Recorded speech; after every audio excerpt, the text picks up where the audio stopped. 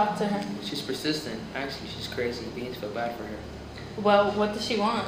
She constantly speaks about her father, is very ill-tempered, and speaks nonsense. She's being a little delusional lately.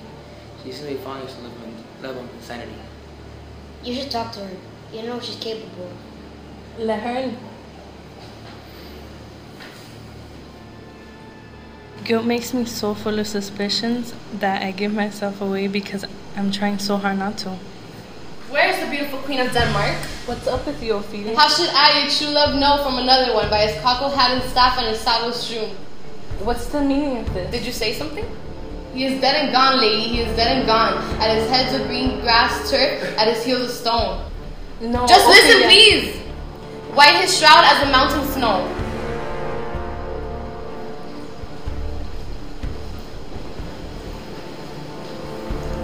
My love, look at her. Larded with sweet, sweet flowers, which be wept to the grave did go with true love showers. How are you doing, my dear? God is fair with all his children. We know where we are now, but not tomorrow. May God be with you. She's talking about her dead father. Dude, let's not speak of it. But if say ask, just say. Tomorrow is St. Valentine's Day, all in the morning bedtime, and I am maiden at your window, be your Valentine. Then he rose up and donned his clothes and ducked the chamber door, that the maiden, that out a maiden, never departed more. Beautiful, Ophelia. By just and Saint Charity, a lack and fight for shame, young men will do it as they come, by cock they are to blame. Quoth she, before you tumble me, you promised me to wed. He answers me, so what had I done? By yonder sun and thought has not come to my bed. How long has she been like this?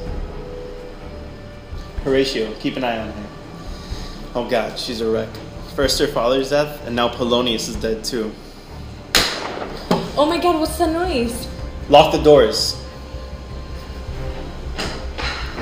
You must save yourself, my lord. Laertes just left me back from Compton, and he doesn't seem too happy about it, especially since rumors are spreading that you were the one responsible for his father's death. Oh my god, he's gone mad. The doors have been breached. You ratchet excuse for a king.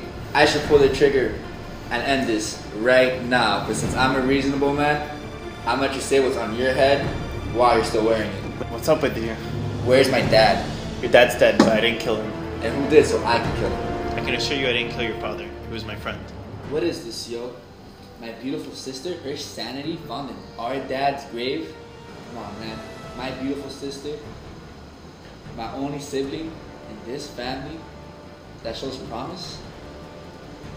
They bore him barefaced on the briar. Hey nani nani, hey nani, and in his grave reigned many a year. Farewell, you my dove. This is insane. Say it with me. You're insane. And will he come? He will he come again? Will he not come again? No, no, he is dead. Go thy deathbed. He will never come again. His beard was as white as snow, all flax with his pole. He is gone, he is gone, and we cast away moan. God have mercy on his soul and all the Christian souls. I pray God, God be with you. And she makes damnation seem like a blessing. They said he looked good in his deathbed. Is this reality? This girl's ratchet in the head.